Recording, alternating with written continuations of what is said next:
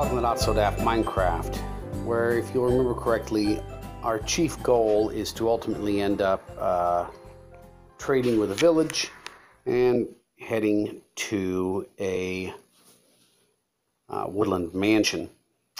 Um, that's all I'm all I'm worried about. Um, I suppose in theory I should just shoot that particular video, but I'm hard-headed and I want to uh, showcase what it takes to get there. So we've been doing some mining, we've been gathering some emeralds. We don't have enough yet to trade with the village, which we also have yet to discover. But we have to get animals down here because we have to get some XP in order to get the necessary bits together to weather the journey to a mansion.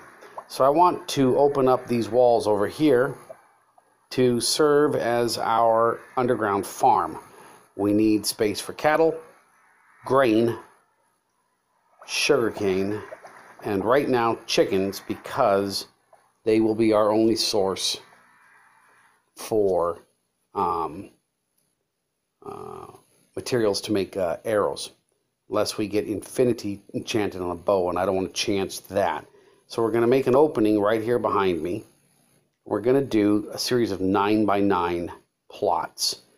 Um, the one in the middle is going to be the 9 by 9 wheat farm. Uh, to the left and to the right, we'll have a 9 by 9 um, cattle pit and a 9 by 9 sugarcane farm. And somewhere below my feet, we will park a chicken ranch, which we may later want to use as a uh, nether wart farm. But let's get busy doing it. I don't really want to film it. I just don't. I just I thought about filming it and fast forwarding, but I'm look look. You guys know what it takes to box out and create a hole in the ground. So we'll just show you the finished results, and uh, you can figure it out yourself because there's no real intellectual challenge to it. So let's just see what it looks like when we're done. All right. So in the uh, moment just before now, I told you we would be uh, putting together the cattle farm, wheat farm, and sugarcane farm, as well as perhaps a uh, chicken uh, uh farm. and we've done all that. And uh, I've got the volume turned down because this is what it sounds like when it's not. Yeah, it's like a, uh, a zoo down here. We even have a dog. So let's take a look at the facility and I'll show you uh, what it is we've done. Okay, so this is open at the moment, so we can talk about that in a second. We've got some glass blocks in here so we can see through. We have a 9 by 9 cattle farm, which has a walkway around it, so it's actually a 7 by 7 A 9 by 9 wheat farm, which is pretty much ready to harvest. And a 9 by 9 sugarcane farm, which uh, is in the middle of doing what sugarcane farms do. Now, notice that all the water. We do need to go out and get some lily pads.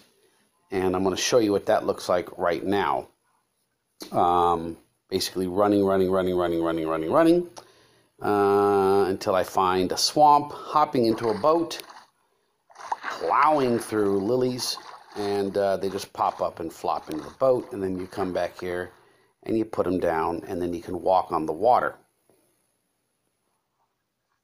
So we have this button here. Show you what that does. At the center is a dispenser inside the dispenser a bucket of water. When we hit the button,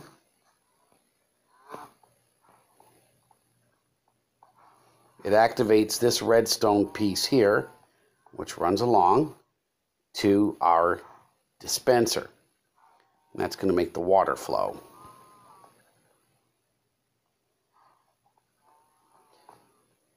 It's important to have a gate here because the water will want to flow through, but the gate will stop it, even if the gate's open all the time. Now, there's a flaw currently in Minecraft. I think it's a flaw.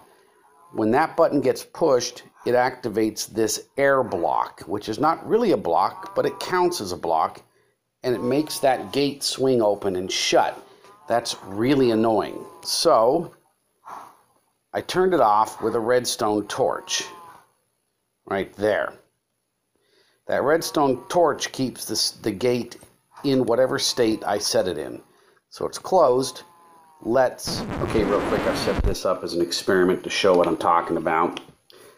Um, we have a redstone torch under that block there. That's our deactivator torch. We don't have it over here. So the button will make the gate and the object work. Now this one doesn't have that problem, which is weird. So you could always set your block up with your button that way and avoid it. Or you use the torch if you want to have that button on the overhead.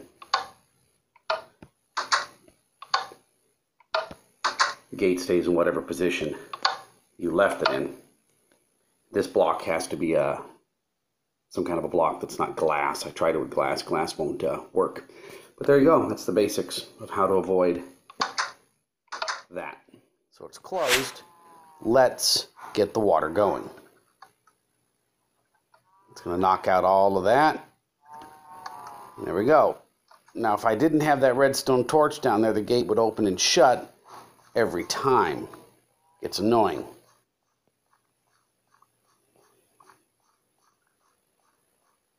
plant this field.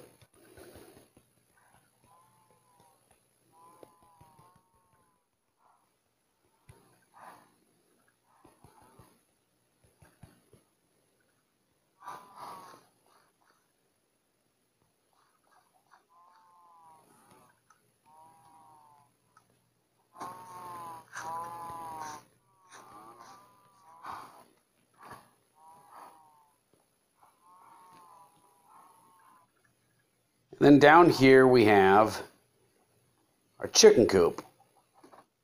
I splurged and made the bottom of the chicken coop all uh, hay blocks.